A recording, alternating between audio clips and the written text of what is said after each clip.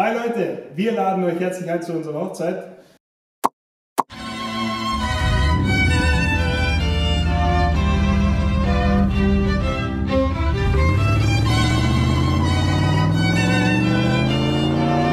Eigentlich werden wir die KTM mit dem Motor verheiraten und ja, viel Spaß dabei.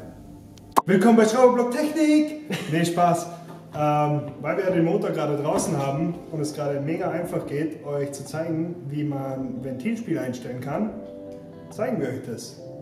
Viel Spaß! Ja, im Prinzip demontiere ich jetzt erstmal alle. Äh, erst einmal die Zündkerzen, da brauchen wir jetzt nicht viel Fachwissen dafür. Aha. Und dann einen Ventildeckel, ist der da. dann müssen wir erst einmal herausfinden, an welchem Zylinder das wir gerade arbeiten. Wie machen wir das? Das ist einer von zwei. Einer von zwei. Na, ist immer gegenüber der Kraftabgabe. Sieht man jetzt auf dem Video, der ist ein bisschen weiter nach drüben versetzt wie der.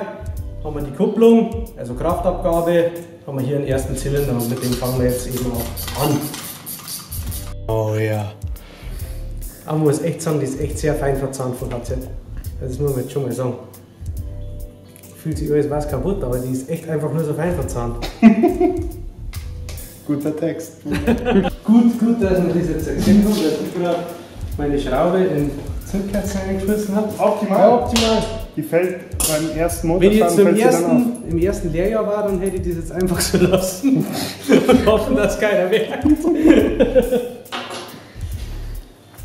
Falls ihr Dann fragt, warum ich solche Business-Klamotten anhatte oder anhab, anhat. Es ist halt nur die Hochzeit, ich kann mich jetzt doch nicht gleich ausziehen. Das geht- geht erst am Abend. Nein, ich bin direkt von der Arbeit hierher gekommen. Und jetzt geht's gleich weiter. Jetzt über die Arbeit. Hey, ich bin noch kein Vollzeit-Influencer, ja. Ich darf da bleiben, aber ich kann da gar nicht so viel dazu erklären. Ich bin ja extra bei dir wegen Zweiradtechnik. Genau, dass du das auch mal lernst. Weil Zweiradtechnik hat mich persönlich interessiert und ich glaube euch auch. Und deswegen arbeite ich mit Nandi zusammen. Weil das sehr gut erklären kann. der das, sehr gut, der das sehr gut erklären kann, der auch eine eigene Motorradwerkstatt hat. Übrigens, KTM, Vertragshändler. Und deswegen. Die Firma heißt Motorradstadler. Und deswegen sind wir bei ihm, damit wir Motorradtechnik Bei der falschen Nuss. bei der falschen Straße Ja, im Prinzip drehe ich jetzt einen Motor auf dem OT. Das finden wir jetzt heraus. Wo ist die Markierung? Hier oben an der Nockenwelle. Ist jetzt halt praktisch, jetzt drehen wir einen Motor, jetzt steht er nämlich schief, jetzt kenne ich mich selber nicht mehr aus. Jetzt hört man, nein, jetzt hört man einen Anlasser, also drei in die falsche Richtung. Immer gegen den Uhrzeigersinn. Ich halt. Wir haben ein Problem. Mach drüben nur die Zündkerzen raus, sonst drehen wir ich nämlich einen Deppen.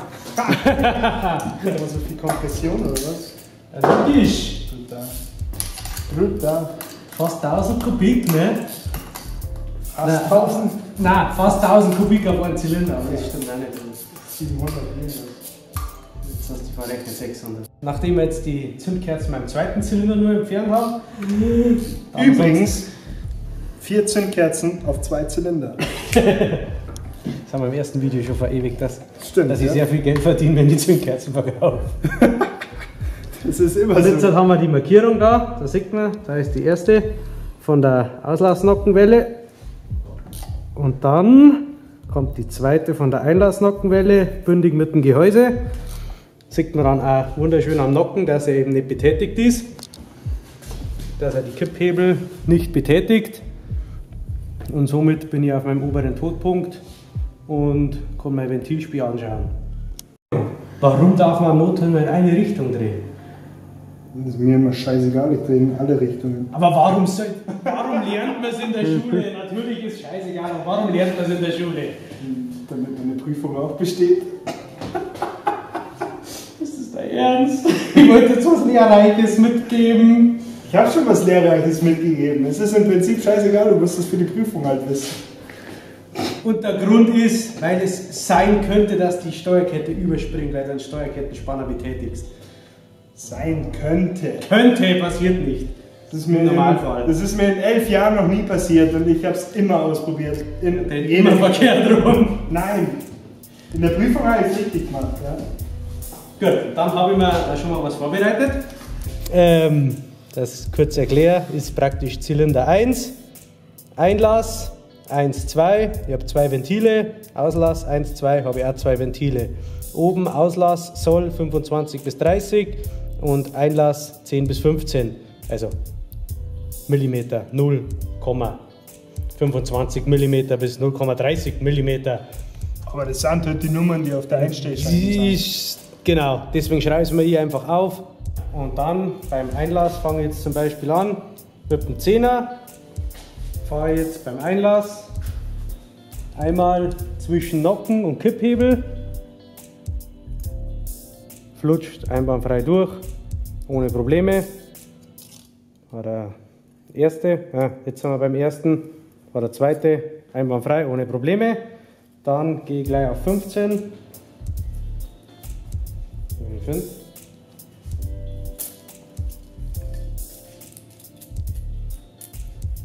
Dann schauen wir bei 15. Habe ich keine Chance, dass ich ihn reinkriege. Optimal. Wäre auch problematisch, weil der Motor erst ähm, 2000 Kilometer oben hat. Das wäre schon grob, wenn da jetzt schon was fehlen würde. Dann nehme ich zur Überprüfung noch einen 12er. Schaue, dass ich ungefähr sagen kann, wo ich bin. Der geht jetzt auch noch ziemlich leicht durch, also bin ich ungefähr bei 13 oder 14. Brauche ich jetzt nicht genauer definieren, da ich es nicht einstellen muss. Äh, ja. Ist auf alle Fälle jetzt ein Häkchen. Passt bei Einlass 1 und 2 passt, weil ich muss nicht genauer definieren, weil sonst, ja, wenn ich es genauer definiere, dann brauche ich es zum Einstellen, dass ich die Schims dann vermessen kann. Aber ich glaube, das zählen wir dann auch noch, dass wir mal die Schims erzeugen können Oh yeah. wie das funktioniert. Machen wir einen Auslass nur im Schnelldurchlauf mit dem 25er. Sollte praktisch Minimum, flutscht richtig schön durch. Also da muss ich jetzt nicht ziehen, muss ich mich nicht anstrengen. Das geht einwandfrei. Und dann mit dem 30er habe ich keine Chance, dass ich reinkomme, ohne dass ich mir mein Fühler leere. Also ich habe eine Chance, dass ich reinkomme, indem ich das Ventil nach unten drücke, aber Das ist halt dann sinnfrei. kann man Das ist halt dann sinnfrei, ne? Du musst einfach nur voll reinstecken, dann kommst du mit jedem Plättchen dann durch. ja, dann, dann kriegst du einen Millimeter durch. Ja. Oh nein! Machen wir jetzt praktisch, blockieren wir einen Motor. Das sollte man dann nicht vergessen. Das jetzt- Das macht der Motor dann schon von das macht der selber. Motor dann von selber. Ich habe es bei einem 2 Liter TDI vergessen, die Karksperre. Das ist scheiße. Ja. Die Scheißen. Das- Ja gut, die Schraube ist ja gleich weg, aber der Rest, was drinnen bleibt, ist vielleicht schlecht. Für jeden, der es nicht weiß, wir blockieren jetzt praktisch die Kurbelwelle. Da ist in der Kurbelwelle eine Aussparung drinnen und mit der, jetzt halt, Und wieso machen wir das? wenn ich die Nockenwellenbrücke runterbaue und auch die Nockenwellen ausbaue, dass sie die Kurbelwelle nicht verdrehen kann in diesem Zusammenhang. Weil das wäre natürlich schlecht, weil sonst die Steuerzeiten nicht mehr passen. Wie aus dem Lehrbuch. Genau, und dann können wir den Steuerkettenspanner entfernen.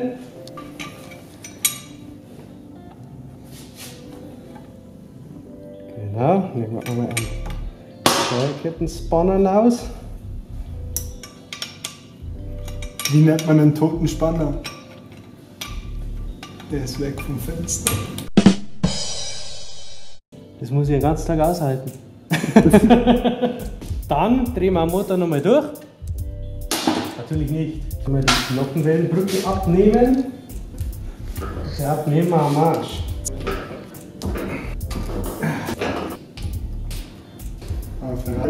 Ja, aber Hubraum ist nur durch eins zu ersetzen. mehr. Mehr Hubraum. Dann bauen wir die Brücke ab. Geil! Da haben wir Passstifte drin. Passen wir auf, dass wir es am besten nicht in den Motor werfen. Warum nicht? Ja, haben wir Passstifte. Das sind die Ölbohrungen. Sieht man jetzt auch wunderschön. Praktisch, dass die Nockenwelle geschmiert wird. Optimal. Dann Nockenwellenbrücke. Dann können wir die Nockenwelle ausbauen. Bauen wir nur mal einen Auslass aus, lasse den Einlass mal drinnen. Lassen wir jetzt einfach mal verdrehen, weil es egal ist. Und wenn jetzt beide ausbauen darf, dass ich es wieder finde, welche welche ist, muss ich kurz suchen. Haben wir Ein Problem. Ein Problem. Normalerweise In und Ex, also das ist die Ex, aber Dann will ich sie wir haben keine In. Wenn es die Ex ist, würde ich sie nicht mehr einbauen. Dann würde ich sie wegschmeißen. Verdrehen wir das erst einmal schön hier. Na, na, na, na, na. Ja, Okay. doch, Chat verdrehen ist ja egal. Ja. Na, okay. Kann ich euch nicht zeigen. Dann können wir euch jetzt keine Markierung, dann können wir euch jetzt keine Markierung zeigen. Haben jetzt, Jetzt haben wir ein Problem. Jetzt haben wir Motorschaden.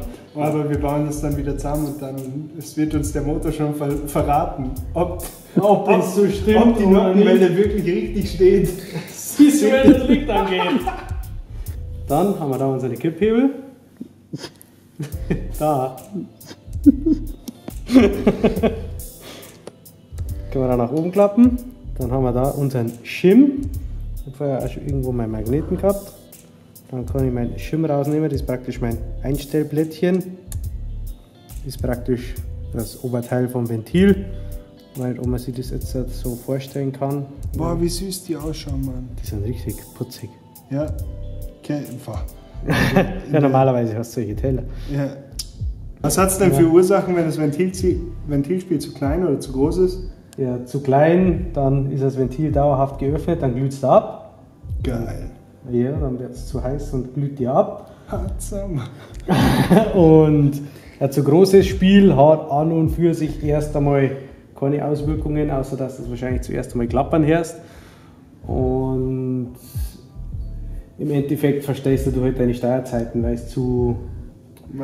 läuft wie ein Sacknüsse. ja, läuft wie Läuft wie Scheiße, Scheißen. Um es fachmännisch zu erklären. Danke. Lerne mit Schrauberblock.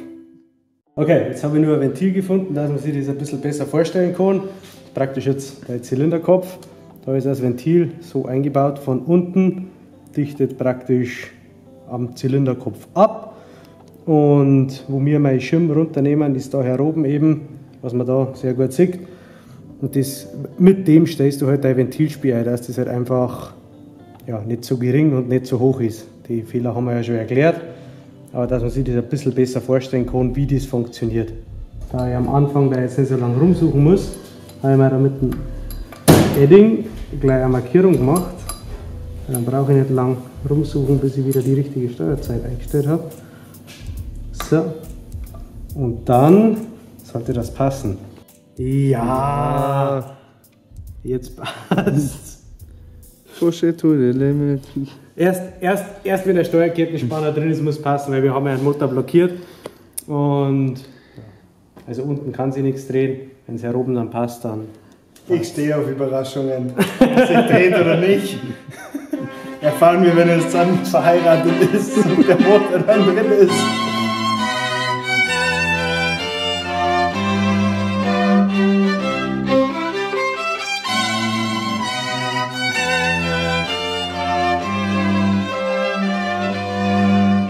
So, das war unsere Hochzeit. Äh, danke fürs Einschalten. Lasst Jetzt gehen wir da. ins Weinstieber. Jetzt gehen wir noch ins Weinstüber. Und das nächste Video, da werden wir das ganze Teil komplett zusammenbauen. Lasst ein Abo da, folgt uns, schreibt in die Kommentare, wie ihr es fandet. Danke.